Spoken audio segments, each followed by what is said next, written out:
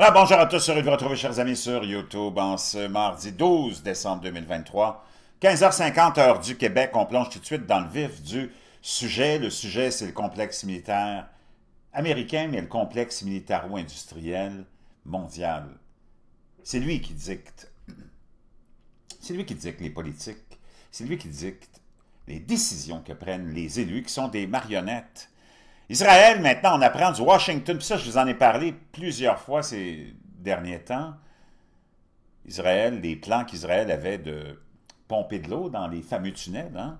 eh bien, on en est rendu là. Israël commence à pomper de l'eau de mer. Je vous en avais parlé cette semaine, on parlait de l'eau de mer. Dans les tunnels du Hamas à Gaza, les premiers efforts visant à inonder les tunnels sont l'une des nombreuses techniques visant à détruire le réseau qui sous-tend les opérations du Hamas. J'arrête ici une pause pour ouvrir une parenthèse. S'il y en a, parce qu'on l'a vu pendant les... depuis le début de cet autre front, de cette guerre mondiale qui a déjà commencé, celle du Hamas avec Israël le 7 octobre, tu as plein de gens qui ont, qui ont utilisé la même méthode que lors de l'invasion de l'Irak, c'est qu'on a amplifier de façon hallucinante la puissance du Hamas. Franchement, c'est c'est démoniaque d'avoir fait ça. Puis ça mène à un massacre. Le Hamas, c'est un groupe qui dirigeait la bande de Gaza. On pourrait le qualifier aussi, selon ta vision des choses, comme le font euh, les, euh, les dirigeants euh, du monde occidentale comme un groupe terroriste, probablement. C'est du monde qui sont pas...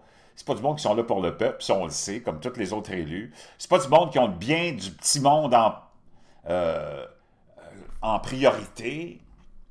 Ils pensent qu'à leurs intérêts de pouvoir et d'argent.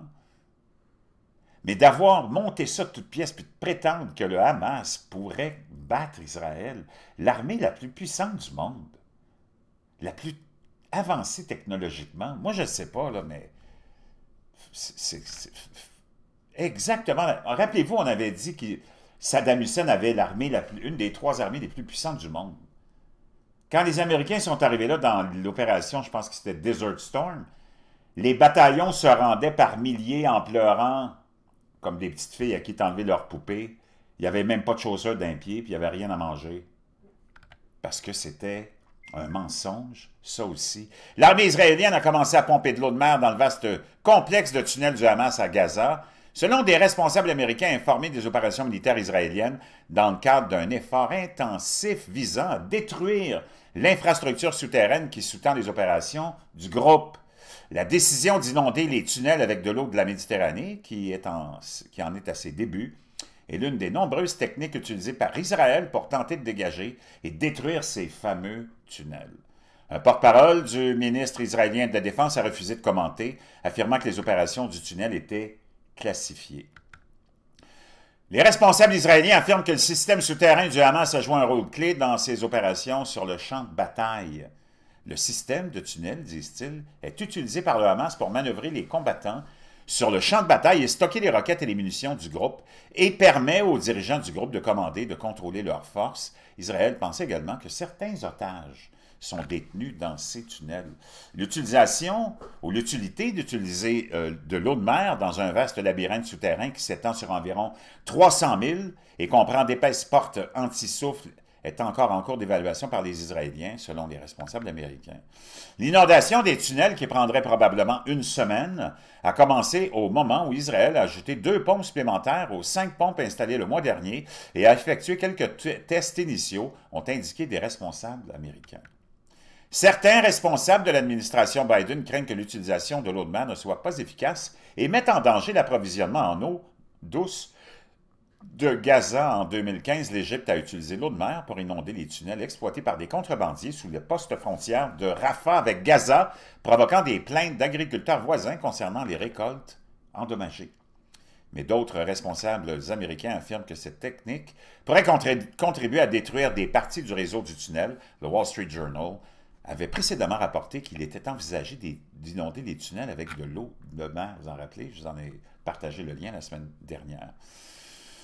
Les analystes militaires ont estimé qu'Israël n'a pas détruit la majeure partie de ce réseau de tunnels et qu'une variété de techniques seront nécessaires pour détruire ou endommager le système souterrain. Donc, on en est là. Ça continue. La guerre continue. Israël contrôle environ 40% de l'enclave côtière en surface selon des analystes militaires qui affirment que les tunnels du Hamas constituent le plus grand obstacle. La question territoriale n'est pas le problème. Le problème que le Hamas est dans la clandestinité, a déclaré l'ancien chef des renseignements. Ça, c'est vrai. Tu pourrais considérer presque toute la population palestinienne comme étant presque adhérente et membre de cette idéologie euh, du Hamas et d'une Palestine euh, comme on l'envisage, et avec la destruction probablement d'Israël aussi. Donc, préparez-vous, c'est sûr qu'il va y avoir plein d'images de massacres, des massacres, il va, c'est pas fini, et euh, ce conflit-là n'est qu'une autre porte ouverte sur ce conflit mondial qui prend de plus en plus d'expansion. On l'a vu avec le Venezuela qui va annexer des parties de la Guyane. On pense à Taïwan. On pense aussi, euh, et c'est euh, rapporté aujourd'hui, je ne sais pas si je vais vous trouver le lien. Si vous me laissez un petit instant, je vais le trouver. L'autre conflit, la guerre en Ukraine, ben, le président ukrainien, hein, qui était en visite mardi, prévoit de lancer un dernier appel aux législateurs américains pour qu'ils maintiennent leur soutien militaire alors que les combats, alors qu'il combat la Russie lors de sa visite à la Maison-Blanche et au Capitole à l'approche de l'hiver, avec des dizaines de milliers de morts, donc on admet des dizaines de milliers de morts ukrainiens, mais c'est des centaines de milliers, un déficit budgétaire béant et des avancées russes, russes à l'Est, Zelensky nous rapporte euh, Yahoo, qui, je pense que c'est un article de Yahoo Finance. Euh, Zelensky devrait faire pression sur les législateurs américains pour qu'ils reconstituent leur financement presque épuisé avant de rencontrer le président Joe Biden.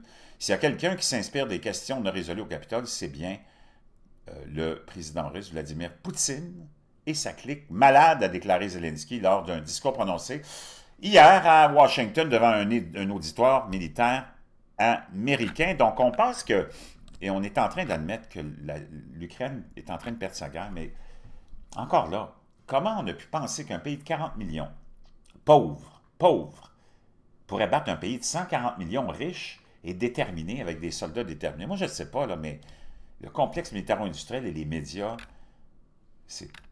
jouent un jeu très, très dangereux. C'est le jeu du complexe militaro-industriel.